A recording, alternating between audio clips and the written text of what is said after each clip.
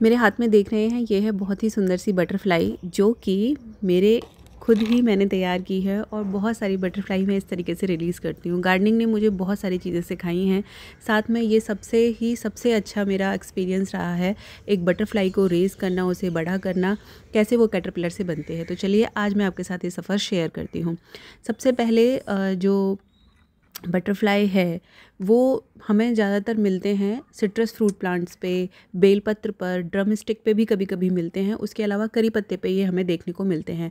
लेकिन बहुत सारे लोग जानकारी ना होने की वजह से उनको फेंक देते हैं। आपने अपने नींबू संतरे के पौधे पे कुछ इस तरीके के कीड़े देखे होंगे जो आपकी सारी पत्तियों को खा जाते हैं और लगता है कि यार ये तो सारा ही पौधा ख़राब कर देंगे। ये कीड़े ही एक्चुअली बटरफ्लाई के कैटरपिलर्स होते हैं जो कि अंडों में से निकलते हैं और थोड़े दिनों के बाद में जब अंडे फूटते हैं तो वो पहले छोटा साइज़ का होता है और थोड़ा सा जब बड़ा होने लगता है। चलिए अब बात कर लेते हैं कि हम इनको किस तरीके से बड़ा कर सकते हैं। अब जब भी आपको इस तरीके के कैटरपिलर दिखें तो उनको आप इकट्ठा कर लीजिए, साथ में कुछ पत्ते ले लीजिए। पत्तों का लेना बहुत ज़रूरी है। और इस तरीके का एक बॉक्स लीजिए, कोई भी वेस्ट बॉक्स उसमें छेद कर लीजिए। छेद करना बहुत ज़रूरी है, क्योंकि अगर आप छेद नहीं करते हैं तो कैटरपिलर्स मर सक, मर जाएँगी। तो इन, अब जैसे मेरे पास तो बहुत सारी कैटरपिलर्स हैं, और बहुत सारा क्राउड मैंने एक दो बॉक्स में ही रखा हुआ है। आप शुरुआत कर रहे हैं तो जितनी भी आपको कैटरपिलर्स मिलें, उसके लिए कोशिश करें थोड़ा बड़ा डब्बा लें। जैसे मैंने आपको दिखाया पहले कि पहले ये थोड़ा ब्लैक एंड वाइट कलर की होती हैं, उसके बाद जब ये खाती हैं, उसके बाद फिर इनका कलर ग्रीन हो जाता है। और इनको रोज़ ही खाने की ज़रूरत होती है। फिर इस कलर से भर के जब वो थोड़ा और बड़ी, इनका साइज़ ना धीरे धीरे करके बढ़ने लगता है और कलर भी कई बार डार्क होता है। और फिर ये इतना खाती हैं कि एक दिन के बाद फिर इनका खाना जो है वो ये अपना खाना बंद कर देती हैं और बिल्कुल एक किसी ट्विंग या जो लकड़ी के सहारे जाके या डिब्बे के किसी सहारे पे जाके इस तरीके से एक आर्च जैसी शेप बनाएँगी, कोई मूवमेंट नहीं लेंगी और दूसरे ही दिन आप देखोगे कि उनका शेप कुछ इस तरीके का हो गया है। इनको हम पूपा बोलते हैं। ये इस स्टेज में आने के बाद खाना नहीं खाती हैं और इस स्टेज में बिल्कुल ऐसा लगता है जैसे कि ये मर गई हैं। अब इसमें नया जीवन स्टार्ट होता है कैटरपिलर से बटरफ्लाई बनने का सफ़र। एक चीज़ और ध्यान रखनी है कि जब भी हम कैटरपिलर्स को बड़ा कर रहे होते हैं तो क्लीनिंग का बहुत ज़्यादा ध्यान रखना होता है। क्योंकि जो बॉक्स में जब ये खाते हैं तो इन पूप जब करते हैं, अगर आप उसे रहने देंगे तो इसमें फंगस लगने लगता है। तो जितने भी पुराने पत्ते हैं, और जो इनका पूप है, उस सबको आप निकालिए डेली और डेली उसमें उसको अच्छे से साफ़ कीजिए बॉक्स को। ना पानी से धोने की ज़रूरत नहीं है, और हाँ कैटरपिलर्स पानी नहीं पीती हैं, उनको सिर्फ़ खाने की ज़रूरत होती है, वो भी फ्रेश लीव्स और लीव्स कौन सी देनी है आपने?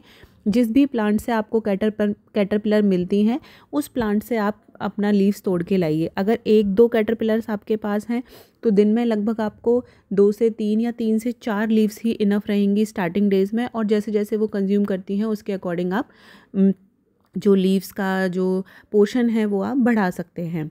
बॉक्स को साफ़ करने के बाद वापस से इसमें अपनी कैटरपिलर्स को डाल दीजिए और कुछ फ्रेश फ़ूड डाल दीजिए। इसमें फ़ूड मीन्स कोई और चीज़ नहीं, सिर्फ़ लीव्स ये बात ध्यान रखनी है, सिर्फ़ उसी पौधे की लीव्स डालिए जिस पौधे से ये आपको मिल रही हैं।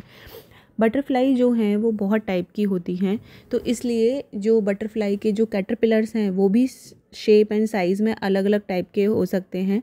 और हर बटरफ्लाई के बनने का जो टाइम होता है, वो भी डिफरेंट होता है। यहाँ जो बटरफ्लाई मैं मेंशन कर रही हूँ, ये मोस्ट कॉमन मिलती है, इसलिए इसको कॉमन मॉमन बटरफ्लाई भी बोलते हैं।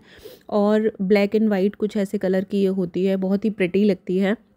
और जो इसके बनने का सफ़र होता है, वो लगभग thirty two thirty five days का होता है टोटल एग से लेके बनने तक का सफ़र।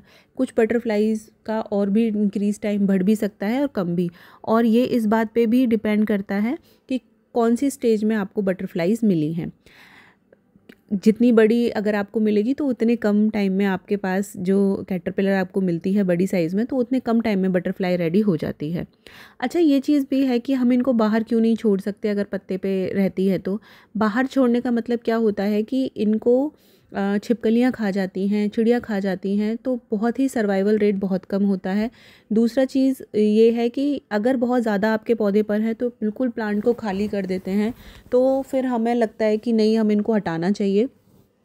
इसलिए कोशिश करें कि मिल रही हैं तो आप उनको अलग से रखें, कोई भी पेस्टिसाइड प्लांट पे ना छिड़कें, क्योंकि उससे ये मर जाती हैं। अच्छा जो भी एक्स्ट्रा जो भी सूखे पत्ते या इनका पूप जो निकलता है, उसको आप खाद की तरह यूज़ कर सकते हैं, अपने प्लांटर्स में, किसी और पौधे में, की मिट्टी में दबा सकते हैं। ये देखिए, जो पूपा है, वो जब लास्ट जब उसका टाइम होता है तो वो बिल्कुल ट्रांसपेरेंट हो जाता है, यानी कि उसमें से बटरफ्लाई जीवन दिखने लगता है।